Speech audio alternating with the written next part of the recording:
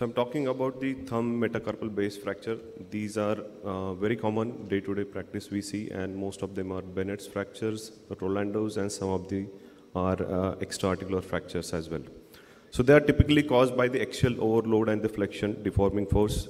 And the most important two things one should remember here is the deforming force of the adductor pollicis, which causes the uh, supination and the adduction of the uh, distal fragment and the abductor pollicis APL which is attached which pulls uh, the metacarpal towards the wrist and causes the deformity.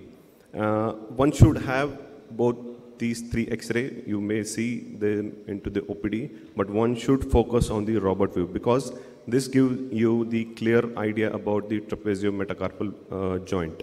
So you can see, and this has to be in your uh, X-ray requisition when you order for the during intraoperative as well and as well as the uh, in follow-up cases. Coming to the management, these can be treated very well with the clo uh, close reduction, plaster, K-wires, some require the open reduction. So those fracture which are extra-articular, angulation less than 30 degree, can be very well treated with the plaster cast. And even if they malunite, extra-articular especially, they can be, uh, the compensatory motion at CMC joint uh, take care of that. But as is it, it is very easy to reduce, but it is very difficult to maintain in the plaster cast. Another uh, thing that verification of the, especially the articular fracture is difficult through the plaster cast. So they need uh, intervention either closed or open. So how do you reduce?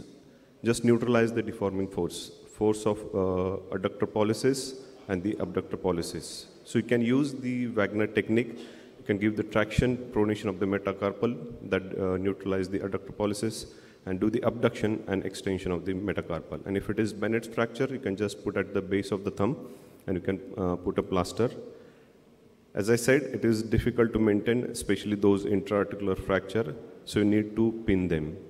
So again, Wagner technique, reduce, fix them, uh, one wire going from metacarpal base into the trapezium or another wire going across the fracture and fixing the second metacarpal. Or you can just uh, catch hold these uh, fracture fragment. So here is a case, a young male had an acute injury. He's our office boy treated with the closed reduction and K-wire, wire going across the trapeziometacarpal joint, another wire just holding the fracture fragment. So this was his five years X-ray. You can see the Robert view, clear trapeziometacarpal joint, no evidence of arthritis. And this was his uh, function at the end of one year. And grip strength almost 95 uh, compared to the opposite side. Another uh, patient acutely presented, you can see, uh, although not classical Bennett's, but it's very close to the joint, reduced with the plaster cast but unstable, so fixed with the closed K wires, wires across the fracture and one of the wire going to the uh, across the trapeziometacarpal joint. Fracture healed six weeks, and this was his function at the end of one year.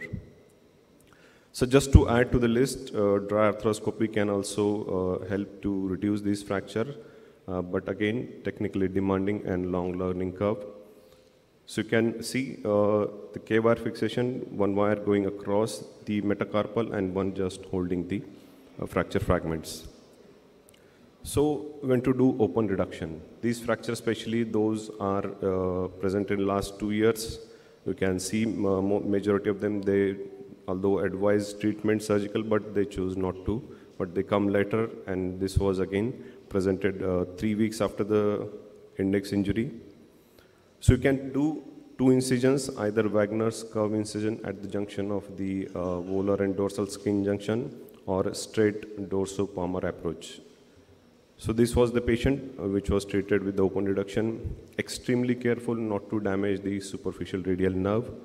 And you can do the internal fixation or some hybrid fixation. So multiple uh, screws and the K-wire which was broken intraoperatively could not retrieve but has got a good function, very good pinch strength and the operated side almost again more than 95% of the pinch.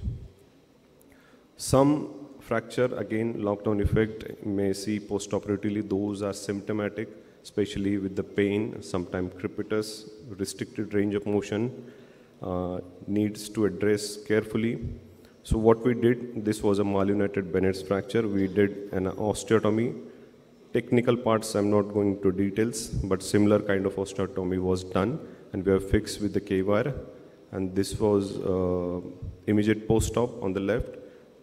And you can see at the end of three years, there is a congruous joint and there is no evidence of arthritis as well. It's got a good grip strength, full range of motion, and the, again, good uh, pinch strength as well. So another type of uh, Rolando's fracture, again, highly comminuted, or sometimes you may see T-Y kind of a configuration. You can give the local anesthesia, you can have idea about the fracture anatomy, or if the patient is non-compliant, or if you want more detail, you can advise the CT scan as well. So as a part, these are high uh, velocity injury and they are highly unstable. So always operate. They need a surgical intervention because close reduction is tend to uh, loss of reduction in subsequently.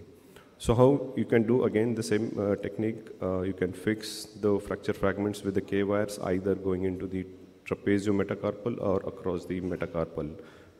So another technique uh, you can use when it is not amenable for external uh, the fixation, you can do the external fixation, static, one wire in trapezium, one wire in metacarpal, distract joystick, fix, look for the uh, trapezium metacarpal joint, uh, reduction is good, and this was his uh, healed X-ray.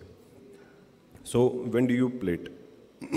if you see this kind of fracture where you can have a good purchase of the plate, so you can, and, and of course, if you have the access to those uh, fragments, open reduction converted those three fragments into two by passing the uh, small uh, fragment screws and again uh, those two fragments again uh, fixed with the K-wires temporarily and you can apply the plate on the volar surface and you can have the early range of motion and this was his x-ray two years post-surgery. So take home, uh, Robert view is a must during the uh, post-operative follow-up every time. Close reduction K-wire is the treatment for the acute Bennett fractures. If the close reduction and ex, uh, external fixation can be used for those comminuted or TY kind of a fracture. And while doing the open surgery, be extremely careful not to damage the superficial radial nerve. Thank you.